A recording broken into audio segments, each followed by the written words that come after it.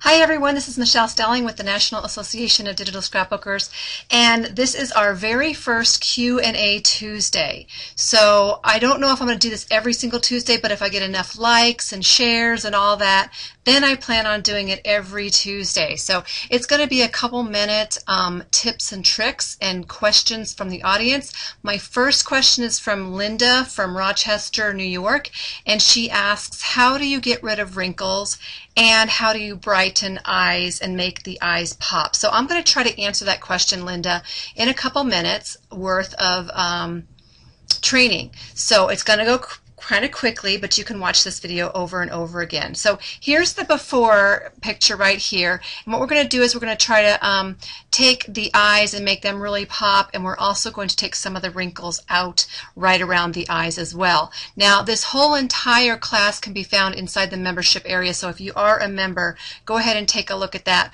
But I'm going to go through this rather quickly. All right, so I'm just going to go ahead and open up a, um, the beginner one the before, I guess you would say. And this one here has not been edited whatsoever, as you can see. So what we're going to do is we're just going to quickly take um, what's called our um, spot healing brush, and we are going to go through it rather quickly and just see what we can do with the spot healing brush. Now on the left hand side you're going to see spot healing brush. You can click on the J on the keyboard to get right to it. As you notice, I have a few little wrinkles here, and I'm just going to kind of go through some of the areas where I have splotches and wrinkles, and I'm just going to click and drag throughout them. Now, what I recommend is going in really, really tight and really getting close to your subject as far as zooming in and zooming out. So then I'm going to go back to my spot healing brush and again I can use my right bracket or left bracket. See how I'm doing making that larger and smaller by just clicking on the right and left bracket and going in there and just it's kind of trial and error a lot of times. So I'm just going to kind of click and drag over the top of it and I'm going to make it a little bit smaller and then go up in here. Now you don't want to get rid of all the wrinkles because then that's going to look kind of fake, but I'm just going to get rid of like every other wrinkle. And you can see that I have some mascara that kind of um, fell down over my eye there too. It's kind of looking a little, there we go, just kind of trial and error. And then I have a few things over here, and I'm just going to focus on this um, left hand side or right hand side here. And let's go up in here, just a couple clicks, and that's pretty good as far as getting rid of some of these wrinkles. I should have kept a before and after, but that's okay. All right, so also you can see that my the whites of my eyes are not really that white. There's all kinds of ways you can do this. So don't um, think that just the way I'm teaching it is the only way. I usually teach the quick and easy way because us digital scrapbookers, we want things done really fast because we want to do a lot of um, other pages. So I'm going to come over here and you've probably heard of the Dodge, Burn, and Sponge tool. But what we're going to do is we're going to go ahead into the Dodge, Burn, and Sponge tool, and that can be found midway here. If you hover over it, it will be the O on your keyboard. And I'm just going to click on that. And I'm using version 11 right now so that the other things are going to fall down here. So we're going to be using the Dodge tool. And I'm going to make sure that my um, brush size is fairly large. It's probably going to cover almost the white of my eye and I'm just going to click a couple times. Now you'll notice how it starts to become a little bit whiter as I keep clicking.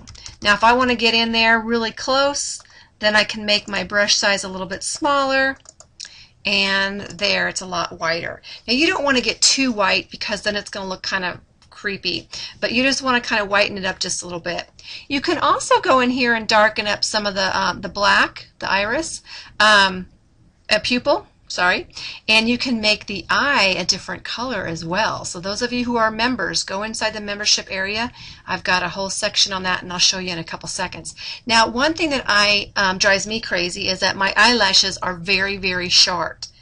So I can go, this is so cool, I can go to um, the internet and I'm just going to type in um, uh, eyelashes, let's see, uh, no, let's, yeah, eyelashes, eyelash brushes, Photoshop free. Okay, so I'm going to eyelash brushes Photoshop free in Google, and the first one that pops up is this one here. So I'm just going to click on that. I'm going to open that up. and I'm going to download these brushes. Now I show you step by step how to insert these brushes and all, but I'm just going to go ahead and download this real quickly. So you click on download. I'm just going to go ahead and save it to my desktop. Oops, I just saved it somewhere. I'm not sure where. Let's go ahead and save it to the desktop. Let's go download, save as, just so I know where it's going. It's a zip file. I'm going to click on desktop and save it there. Then I'm going to go ahead, let's just close out of this, close here, not close out of it, but shorten it up. And then right here on my desktop it says SS eyelashes zip. So I'm going to double click on that. I'm going to take this ABR file and just drag it and drop it and drop it to my desktop. So it's an ABR file. Now what I'm doing is I'm going to go back to Photoshop Elements and I'm going to put those brushes, their eyelashes, in my brushes area. So I'm going to come over here and I'm going to go into my brushes, get my brush tool, and I'm going to load brushes. Then I'm going to go to my desktop and I'm going to find my ABR file, SS Lashes, load those up. There they are. Very cool, huh? Okay, then I'm going to come over here and I'm just going to go ahead and put another layer on there. And I'm going to go get my brush tool on the left hand side you'll see. Then I'm going to go back down here and get an eyelash. Now I'm just going to get some really crazy thick thick eyelashes. This looks like it's the right eye. And I'm going to come out here. I'm going to make my brush size a little bit bigger. It's on a different layer and I'm going to click one time. That looks too much. So let's undo that. And let's go down and try another eyelash. So let's try this one right here. Don't know if it's going to work or not. That looks a little bit better. I'm going to make sure that I get the size that I need it to be. And I'm going to click one time. Click. And that looks a little bit better. It might be a little bit off, but you can go in there and transform it and you can rotate it and all that other stuff. They also have eyelashes that go on the bottom as well. So let's just see if I can find those. Let's see here. Really light ones. So here's one here. Come back out in my area and I'm going to put it on another layer and I'm going to make it a little bit bigger and I'm going to click and you notice that they're very very they need to be rotated a little bit so let's go ahead and get my um, rotate tool my move tool rotate those eyelashes and see if I can't get them to kind of fall in the right area I might have to do a little bit of there we go. And that looks okay. It might be a little bit off, but you get the idea. So there we have it. In a couple minutes, we created a really nice looking um, eye, and that might need to be rotated a little bit. And you can change the color of that brush as well. It's a really black black color, so it's a little bit stark, but you get the idea. Now over here to the right, we got rid of a little bit of the um, wrinkles around the eye. We brightened the eye up a little bit. If you want more information, just become a member. Go inside of our membership area, and let me just show you really quickly where that can be found for those of you who are members.